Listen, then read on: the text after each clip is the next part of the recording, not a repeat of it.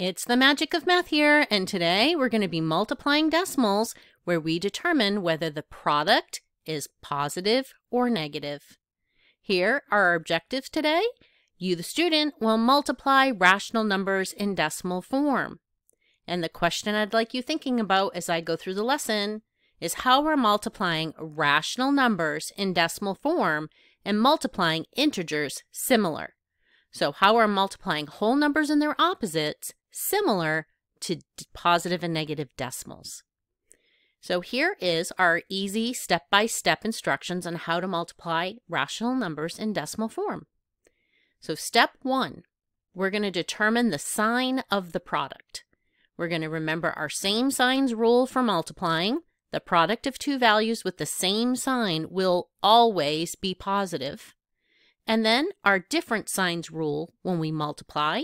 The product of two values with different signs will always be negative. So if they're both positive, the product will be positive. If they're both negative, the product will be positive. If one value is positive and one value is negative, negative product. All right, step two.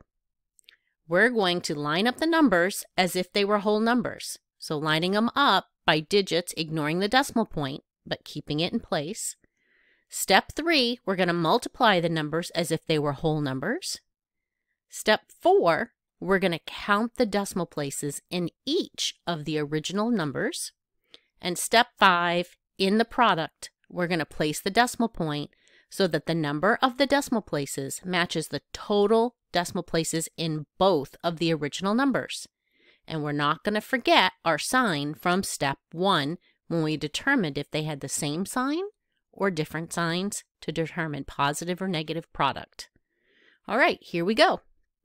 Here's a graphic organizer that we are going to use today, which is first step is to write the problem, and then we're going to go through our five easy steps, and we have our workspace over here. So hopefully after you practice using this for a while, you can go and do it on your own, kind of like training wheels. Here's our first problem. We're going to multiply 2.5 or 2 and 5 tenths multiplied by 3 and 41 hundredths. So let's go put that into our graphic organizer. And we're going to do step one. We're going to determine the sign of the product, writing positive or negative in our step five box down here. The reason we're going to do that is so that we don't forget because it could be a product that is positive or negative. So we're going to look at our values. These are having the same sign. They're both positive values. So we're going to go to our same signs rule and know that with the same sign, they're always going to be positive. So we're going to put a positive sign in that last box so that we remember when we get to our final answer, we remember it's positive. Step two, we're moving on. Lining up the numbers as if they were whole numbers. So you're going to remember what you did for decimals back a few years ago when you learned to multiply. We're going to take the one with the most digits and put it on top. So this has three digits. We're going to put it on top. And then we're going to line up 2.5 underneath. And then we're going to multiply. So we're going to start at the right. We're going to start with that 5, right? We're going to multiply these numbers as if they were whole numbers. So starting with that 5, 5 times 1 is 5. 5 times 4 is 20. So we're going to bring the 0 here and carry the 2. 5 times 3 is 15, plus 2 is 17. Now we're ready to move on to the next digit, which is the 2. So we're going to put a 0, and then we're going to start. 2 times 1 is 2. 2 times 4 is 8. 2 times 3 is 6. Now we're going to add. 5 plus 0 is 5. 0 plus 2 is 2. 7 plus 8 is 15, so 5 and carry the 1. 1 plus 1 is 2, plus 6 is 8. Now we're ready for step 4. We're going to count the decimal places in each of the original numbers. So we have two decimal places and one decimal place for 3. So we're going to come down here to step five, and in our product, we're going to place a decimal point so the number of decimal places matches the total decimal places in both of the original values. So three, so we're going to go in three spot, three digits, and place our decimal point, and that is our product. And we don't need that positive sign in our product. We know that without a sign, it's positive. So 8 and 525 thousandths is our product. Now it's your turn.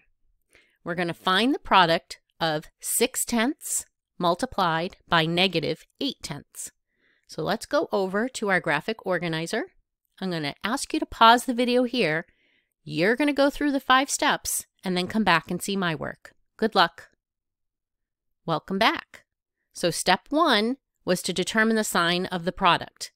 And we're going to write positive or negative in the step five box. So we come over to our values. We have positive, negative. So these are different signs. And the product of two values with different signs is always negative. So going into our step five box, we're going to put a big negative sign there to remind us.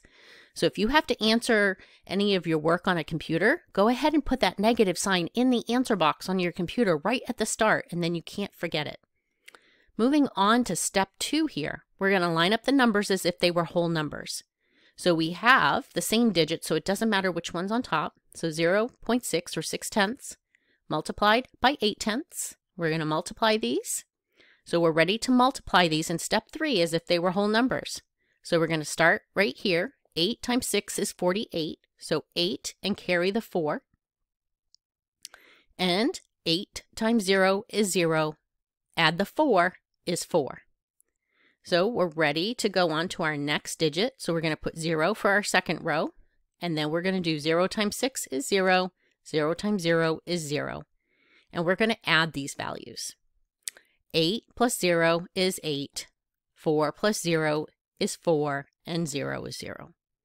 So step 4, we're going to count the decimal places in each of the original numbers. So we have one decimal place, a second, so two decimal places. So in step 5, we're going to go place our decimal point so that it is two digits in. So we're going to count two digits in, put our decimal place, and then we're ready to answer. And don't forget it's negative. Negative 48 hundredths is our product. Here's another one for you. You're going to multiply negative 5 tenths multiplied by 3 and 8 tenths. So let's go to our graphic organizer, bring in our product, our value. Now go ahead and pause. You do the five steps and then come back to check your work. Welcome back. So step one, we're going to determine the sign of the product and write positive or negative in the step five box. A positive, eh, I mean a negative and a positive, different signs, so it's going to be negative. So we're going to put our negative sign in that box. Step two, we're going to line up our numbers as if they were whole numbers. So I'm going to put 3.8 underneath 0.5 because they line up. Even though this is zero, it still lines up. So we're going to take and multiply the numbers as if they were whole numbers in our step three, starting with the 8 times 5 is 40, 0, and carry the 4.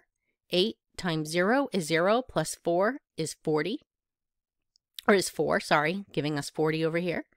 Now we're going to move over, and we're going to start with a 0 as a placeholder for our second line. 3 times 5 is 15. 5, carry the 1.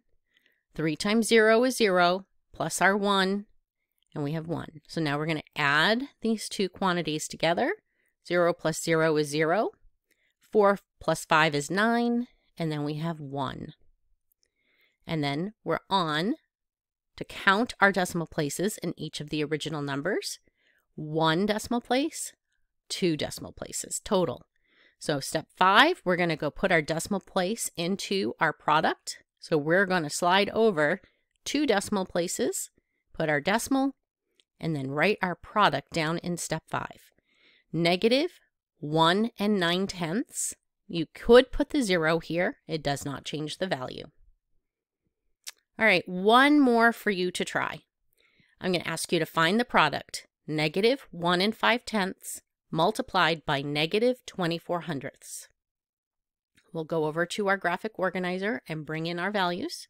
So here's where you're going to pause, do your best work, and come back to check. Welcome back. Let's do step one. Step one is to determine the sign of the product, and then we're going to put positive or negative in step five box. So I come over to my two values, negative, negative. So they're the same signs. So when we have the product with the same signs, we know down here it's going to be positive. All right, we're ready for step two to line up the values. So I'm going to put 0.24 because there's two digits. We go to the hundredths. And our first one only goes to the tenth. All right, we're ready to go. We're going to multiply in step three as if they were whole numbers. So we're going to start here at our 5, and we're going to multiply. 5 times 4 is 20, 0, and carry the 2. 5 times 2 is 10, plus 2 is 12, so 2, and carry are 1.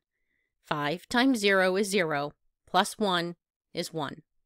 Now we're ready for our second row, going to our next digit. Put our 0 placeholder in here. 1 times 4 is 4. 1 times 2 is 2. 1 times 0 is 0. And now we're going to add. 0 plus 0 is 0. 2 plus 4 is 6. 1 plus 2 is 3. And then we have that 0. Step 4, we're going to count our decimal places in each of the original. 2 plus 1 is 3 decimal places. So in step 5, we're going to go place that decimal point three digits in. So let's go count. 1, 2, 3, put our decimal point in.